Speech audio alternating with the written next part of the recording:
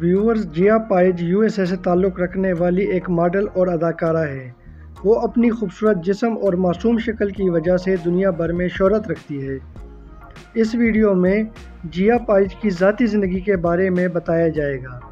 जिया 18 जून 1990 को Michigan, USA में पैदा हुई और इसने अपने बचपन का बेशतर हिस्सा मिशीगन में ही गुजारा।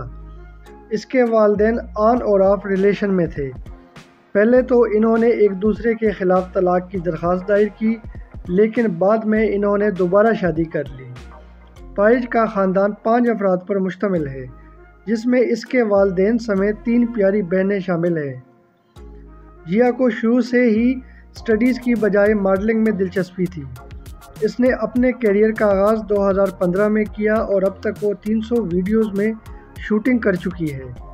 इन वीडियो से जिया काफ़ी दौलत भी कमा चुकी है और इसकी कुल दौलत दो से तीन मिलियन अमरीकी डॉलर तक है।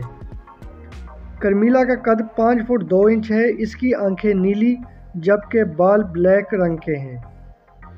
व्यूअर्स, अंग्रेज़ी के अलावा पाइज फ्रांसीसी और हस्पानवी ज़ुबान भी रवानगी से बोल सकती है।